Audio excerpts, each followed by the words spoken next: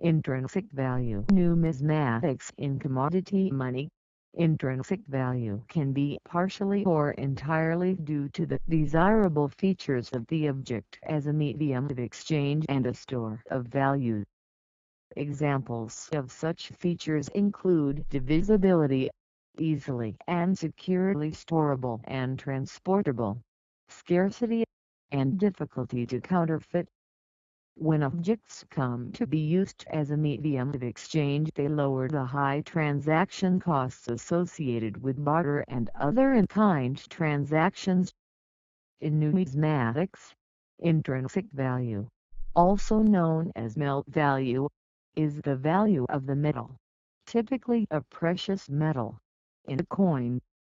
For example, if gold trades in commercial markets at a price of $1,200 per fine troy ounce, then a coin minted from 1 troy ounce of fine gold would have an intrinsic value of $1,200. When a coin is in use as money and the intrinsic value becomes greater than the face value, these coins are in danger of being removed from circulation in large numbers an expression of Gresham's law.